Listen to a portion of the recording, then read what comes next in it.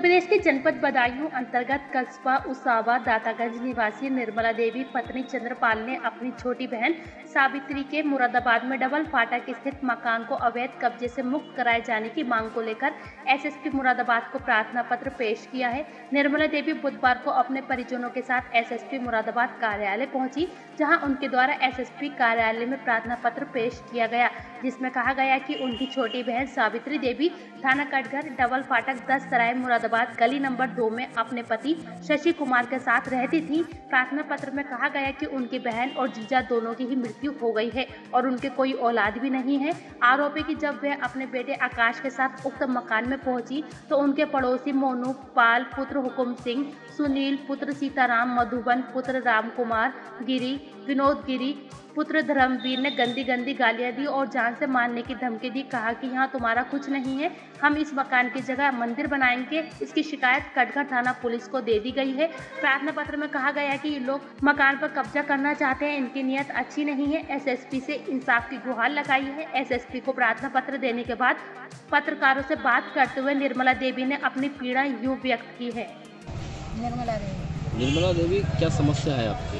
हमारी समस्या यह है कि मैं मेरी बहन यहाँ रहती थी। कहाँ पर? मुरादाबाद मुरादाबाद किस जगह पर? दसराय फिर? फिर क्या उनकी तबीयत खराब हो गई? मेरे पास आ गई थी। हम्म, बच्चे ले गए थे। हम्म, फिर क्या कहते हैं उनकी दवाई कराई वो ख़त्म हो गई। मैं यहाँ छः तारीख को आई उनने हंगामा कर दिया।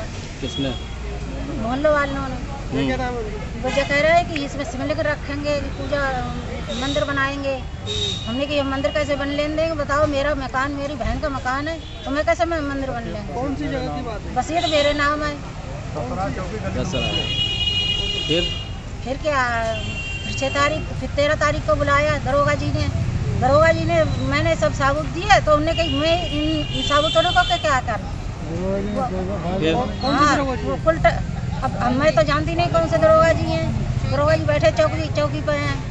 हाँ। मकान आपकी बहन का है? हाँ मेरी बहन का है। कौन लोग हैं जो कब्जा करना चाहते हैं? जे अब हम तो जानते ना कौन कौन लोग हैं जो मोहल्ले वाले हैं। थाने पे गए थे आप लोग? हाँ चौकी पे गए। थे। तेरह तारीख को आए तो उन लोगों ने भगा दिया मेरे लिए। कुल देर तो टाइम लेते रहे कि आ रहे हैं आ रहे हैं वो लोग। मगर उन लोगों ने कोई कागज़ नहीं दिखाया नहीं कोई आया आज कौन पर। से अधिकारी से मिलना आए थे? आज क्या चाहते हो उसमें? हम तो अपने मकान लेना चाहते हैं। ठीक है।